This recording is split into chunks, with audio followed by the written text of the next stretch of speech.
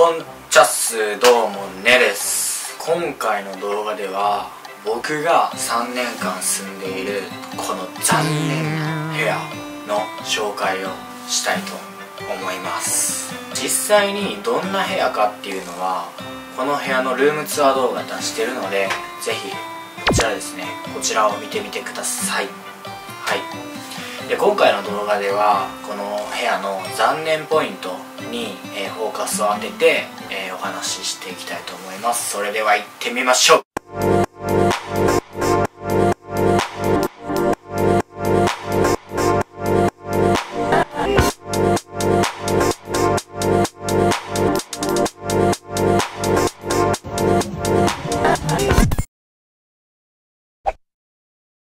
せや一つ言い忘れてたんですけどこれから状況で一人暮らし始めようっていう方に向けてこういう部屋はやめといた方がいいよっていうような動画なのでぜひ、まあ、反面教師的な視点でも見ていただけたらなと思います。お願いします。で、えー、この動画の流れとしてはまず最初に残念ポイントをお伝えしてこの部屋の家賃とそれからこの部屋のいいところについて、えー、お話ししていきたいと思っています、えー、お時間ある方は最後までぜひよろしくお願いします。ということでですね、えー、この部屋の残念ポイントについて早速お話ししていきたいと思います。今回この部屋に住んでみて僕が残念に思ったポイントが全部で5点あります。それがこちらです。はい。で、えー、順に1つずつ説明していこうと思います。まず1点目音漏れがひどいことです。今はいないんですけど隣の人のあのトースター？あの食パン焼く音聞こえてきたりとかもうテレビの音も全然聞こえるしもう音漏れのひどさっていうのはもうこの家は一部かなと思ってます。はい。では2点目。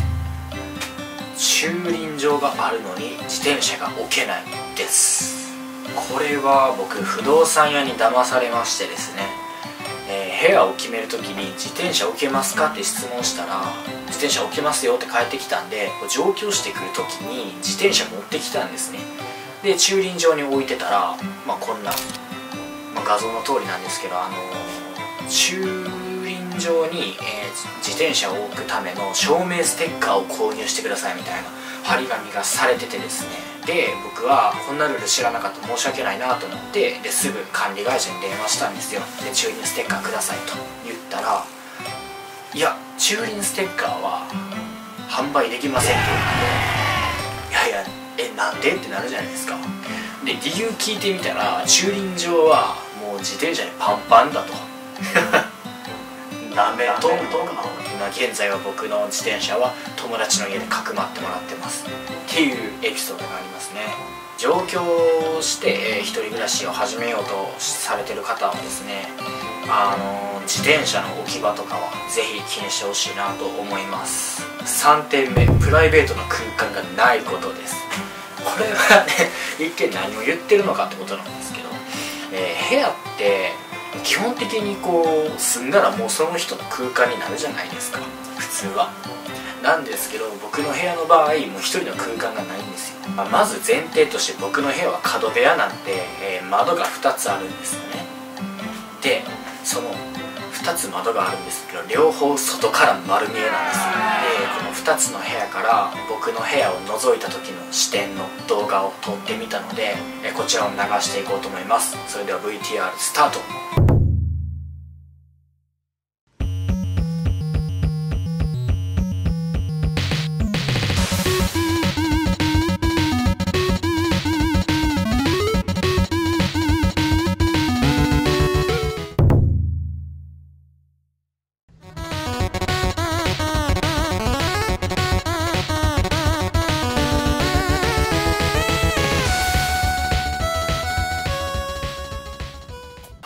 かがだったでしょうか？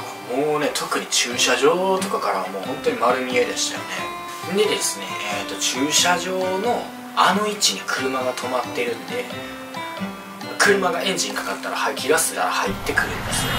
排気ガス溜まった結構ずっと排気ガスの匂いするんですよ。これも結構きついポイントですね。はい。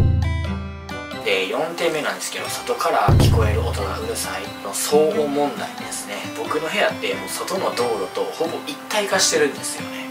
なので外走ってるバイクとか車の音とか全然聞こえてきますし、えなんならもう人の声とかバンバンバンバン聞こえてきます。はい。ってことはですよ逆説的に捉えると僕がこうやって喋ってる声とか電話してる時の音全部外にダダ漏れなんですよね。3点目4点目合わせてお話しするともう外から丸聞こえ丸見えの素晴らしい部屋でしたね。まあ、僕の部屋は部屋とは言わなくて唯一近いものがあるとしたらユニットハウス、まあ、こんなちょっと画像載せとくんですけど、まあ、皆さん見たことあるんじゃないですかね、まあ、こうユニットハウスが一番近いかなと例えるなら、そんな感じがしますね。で、えー、最後5点目。捨て場が僕の部屋の真ん前にあるっていうことです。あのですね僕の部屋は道路にも面してますし、えー、この住民の皆さんが捨てられるゴミ捨て場の真ん前に部屋があるんですね。ってことは虫とか結構寄ってくるんですよね。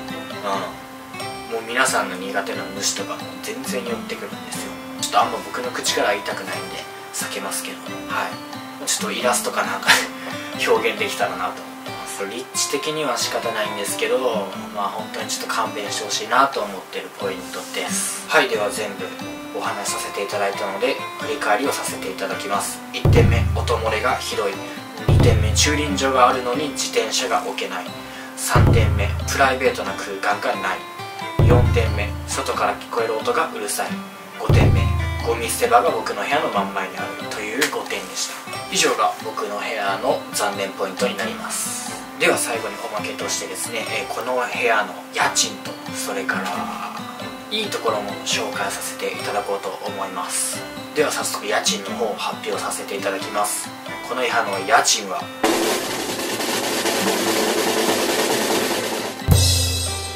？6万1000円です。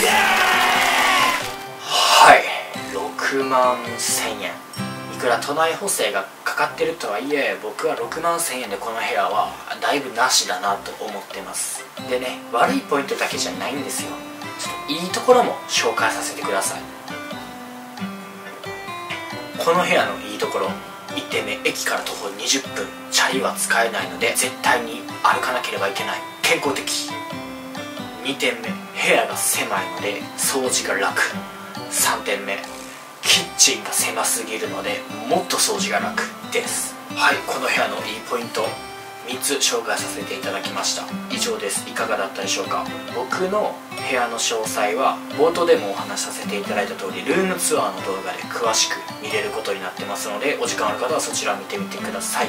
はい。では今回の動画はここら辺で終わらせていただこうと思います。ご視聴ありがとうございました